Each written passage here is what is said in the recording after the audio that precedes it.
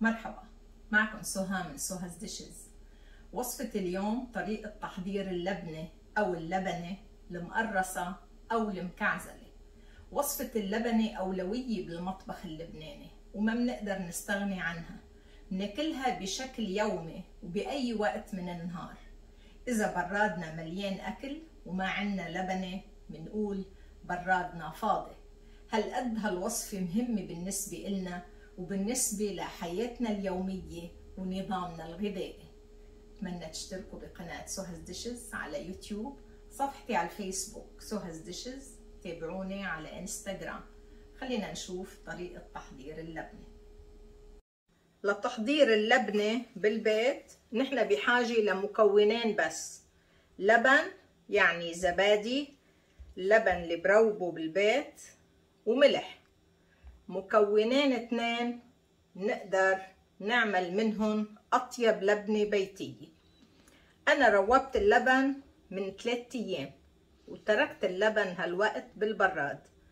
أفضل إنه نستعمل لبن ثلاثة أيام للأربع خمسة أيام حتى اللبن يجمد وياخد شوية حموضة وياخد طعمته الأساسية. ما نستعمل اللبن فورا تاني يوم ما منروبه. فإذا هيدا اللبن أنا روبته من ثلاثة أيام. كانوا موجودين كل الوقت بالبراد. كمية اللبن الموجودة بهالطنجرة هي جلن واحد. واحد جلن من الحليب روبته بيعطيني هيدي الكمية اللي شايفينها. جلن الحليب يعني 3.78 لتر. أكيد ممكن نستعمل كمية أقل أو كمية أكتر حسب الكمية اللي نحن بدنا إياها. هيدي الكمية بتعطيني بحدود كيلو واحد من اللبنة. فإذا اللبن هلأ جاهز بس رح نزل عليه ملعقتين كبار ملعقتين طعام من الملح. طريقة تحضير اللبن كيف منروي باللبن؟ رح تلاقوها موجودة بصندوق الوصف اللي بيحب يتعلم طريقة ترويب اللبن. إذا بتحبوا تشتروا اللبن كمان حاضر وأنتوا بالبيت بتحضروا اللبنة هالشي بيرجع لإلكم. بس دايما وقت منروي باللبن بالبيت بيطلع لبن بلدي طيب أفضل بكتير من اللي بنشتريه جاهز من المحلات. شايفين اللبن كيف جامد؟ عم يطلع اللبن بس روبه بالبيت بجنن. هلأ بس رح ضيف عليهم حوالي 2 كوب من المي. رح زيد 2 كوب من المي حتى شوي يرتخي اللبن وهالشي بيسرع إنه المي تنزل من كيس القماش الكيس اللي منسقط فيه اللبن. مخصوص للبنة. بدي يكون عندي كيس قماش بستخدمه بس لتحضير اللبنة. بعد ما أخلط المي واللبن والملح كتير منيح هلأ بنزلهم بكيس القماش. هيدا كيس القماش كيس اللبنة بللته بالمي وعصرته وبحطه بقلب الطنجرة. هيك بيسهل علي نزل اللبن على الكيس. هيدا اللبن المخلوط مع المي والملح بنزله على كيس اللبنة بهالطريقة. شايفين قديش سهل؟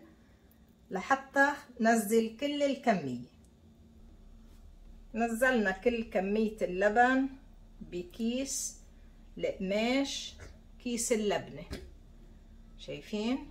هلا بجمع باب الكيس وبسكره بهيدي الربطة الموجودة بالكيس بهالشكل. هلا صار عندي كيس اللبنة مسكر بعلقه جنب المجلى بالتعليقة تبعه بحط تحت منه وعاء كبير حتى كل المي تصفي بالوعاء. وبعد ثلاث ساعات بكون نزل كمية كبيرة من المي من كيس اللبنة. بنشوف الخطوة الثانية. هيك شكل كيس اللبنة بس بدي علقه ببين. بحط تحته هيدا الجات. كل المي بتنزل بأرض الجات. رح أتركه معلق ثلاث ساعات. هيدا كيس اللبنة هيك ببين بعد مرور ثلاث ساعات. شايفين؟ الكمية نزلت من فوق لتحت. أكثر من ست أكواب من المي مية اللبنة نزل من الكيس. هلأ بفتح الكيس حتى حرك شوي اللبنة بقلب الكيس. بنفض القماشة مثل ما أنتم شايفين. كل اللبنة اللي بتكون معلقة على الجوانب بتنزل. بجمعهم بزاوية زاوية الكيس. يعني اللبنة كانت موزعة على كل الكيس. هيك بدي إياها تنحصر بزاوية واحدة.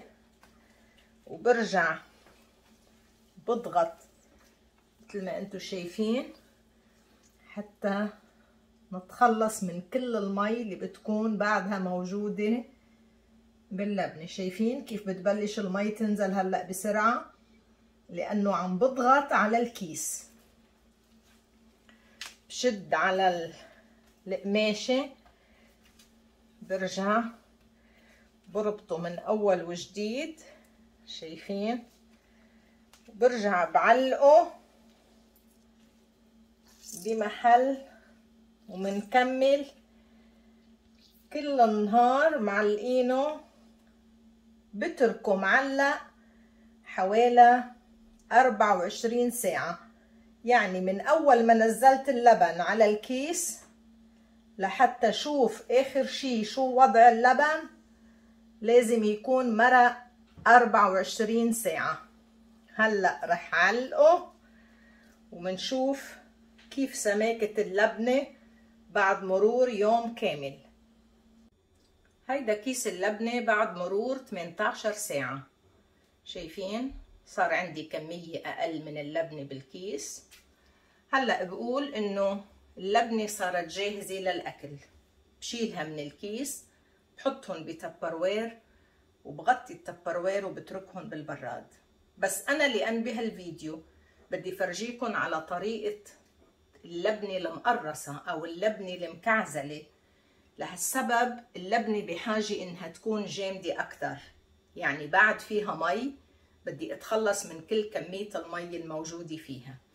لهالسبب رح أفتح الكيس وحرك اللبنة شوي بقلب الكيس وانقلهم من الزاوية اللي هن فيها على الزاوية التانية وبرجع بشد الربطة وبعلق الكيس وبترك اللبنة حتى تنشف لوقت أطول بعد. يعني مش أقل من يوم كامل مثل ما قلت لكم 24 ساعة. وبعد ال 24 ساعة بفتح الكيس وبشوف قديش سماكة اللبنة. هيدا كيس اللبنة بفتحه.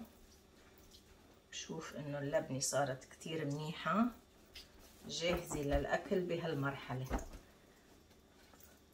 هيدي الزاوية الفارغة. راح انقل اللبنة عليها لأن هالشي بخلي اللبنة تتحرك والمي الموجودة فيها تنزل منها بطريقة أسرع. بضغط عليها وبحصرها بالزاوية.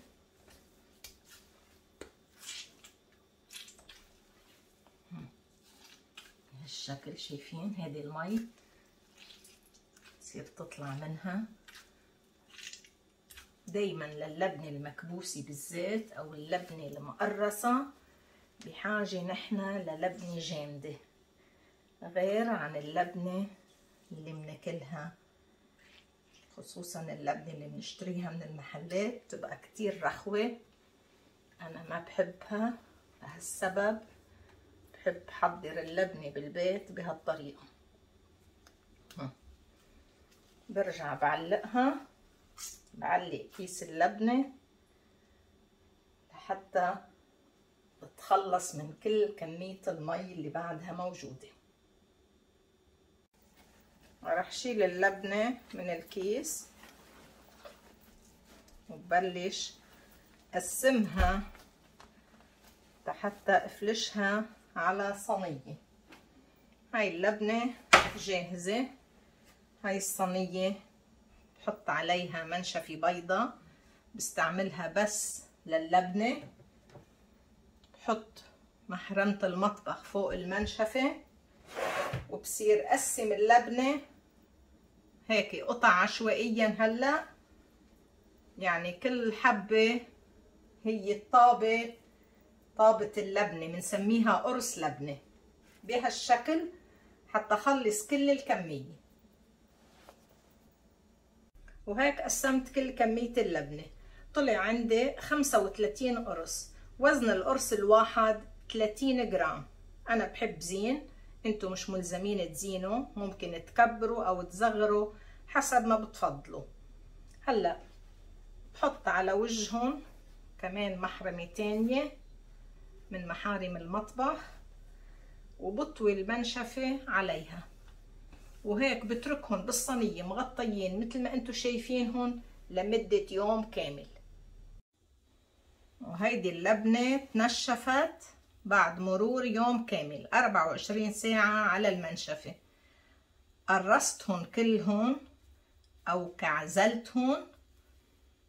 أول شي بجرب هيك أخلط اللبنة بإيدي لأنها بتكون ناشفة. بهي الطريقة برخيها وبطريها شوي وبعدين بشكل الطابة. ببرمها بين الكفين. الطريقة اللي انتو شايفينها حتى يصير عندي طابة من اللبنة. هيدا اسمه قرص لبنة.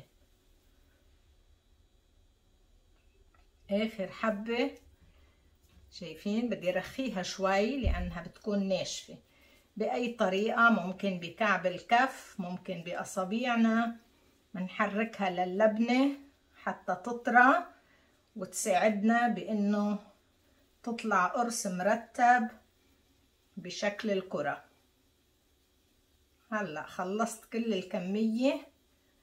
راح صفهم بالمرتبين ونزل عليهم زيت الزيتون. هيدا المرتبين اللي راح أعبي فيه اللبنة. بحط شوية زيت زيتون بأسفل المرتبين وراح يساع أربع أقراص يعني كل طبقة هاي راح تساع أربع أقراص بصفهم حد بعضهم وبزيد زيت زيتون وبكمل حتى ينتلي كل المرتبين وبرجع بعبي مرتبين تاني. بنفس الحجم. هيدي الكمية بتعبي مرتبانين بهيدا الحجم. وهيدي اللبنة المقرصة صارت جاهزة بالمرتبين من أطيب اللبنة اللي ممكن نحضرها. بس نتعود نحضر اللبنة بالبيت ما منعود نحب نشتريها من المحلات. شو رأيكم بهالمنظر؟ بس بدنا رغيف خبز مرقوق. أخدوا 2 كوب من زيت الزيتون.